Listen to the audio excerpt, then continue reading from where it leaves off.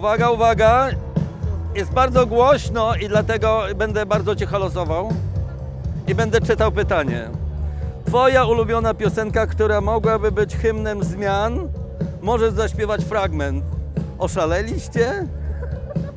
Po pierwsze, o ja, e, mogłaś moją być ulubioną narzeczoną, ale jestem od 25 lat w związku małżeńskim, więc nic z tego. Hymny zmian, w moim wieku zmiany są już niewskazane. E, Nawet jak palę te dwie paczki dziennie, to wydaje mi się, że jak rzucę, to umrę. Dziękuję, poproszę następną kartkę.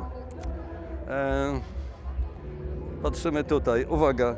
Gdybyś mógł zmienić jakąś jedną rzecz ze swojej przeszłości, na przykład decyzję artystyczną, biznesową, prywatną, co by to było?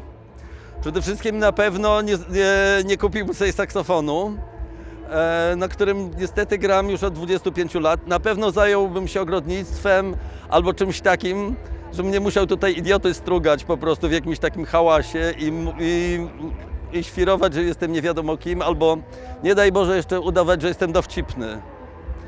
No to jest trochę smutna historia, ale będę z Państwem szczery. No niestety tak jest. Poproszę następne pytanie.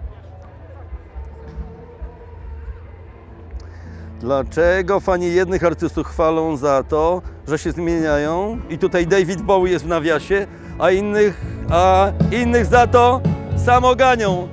To jest tak, że jak byłem bardzo młody, to chciałem, żeby ciągle świat się zmieniał i mo- moi koledzy też się zmieniali, żeby byli coraz bardziej inteligentni, żeby dziewczyny starzejąc się były coraz ładniejsze e, i żeby miasta były coraz piękniejsze.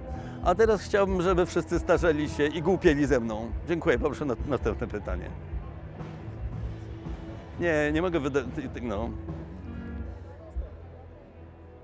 Czy świat się zmienia i czy na lepsze? Nie, a kto zadawał, kto te pytania wymyślał? Dobrze, że nie ma takiego pytania na przykład, czy uważa pan, że muzyka zmienia świat na lepsze? To byłoby straszniejsze jeszcze pytania. I, i, i py- pytanie, ja powiem tak, że oh, świat się zmienia e, bez przerwy, ale ani na gorsze, ani na lepsze.